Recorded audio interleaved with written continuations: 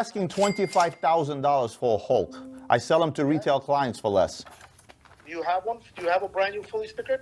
Nobody gives. You want to tell? You want to tell me stickers are worth three thousand dollars? So how much do you sell them to your retail clients? Twenty-seven five. I need your retail clients.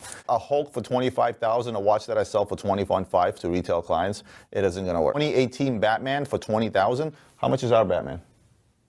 Fully stickered? What are we selling our Batgirl for? I'm gonna sticker our Batman for you. How about that? I'll I'll find some. Uh, I'll go to Target and buy some stickers. Brand new Hulk, unworn, on Chrono 24 for 21.7. Here's another one, brand new, unworn for 23. So where are you getting 25 from? Can I ask you? Stickers?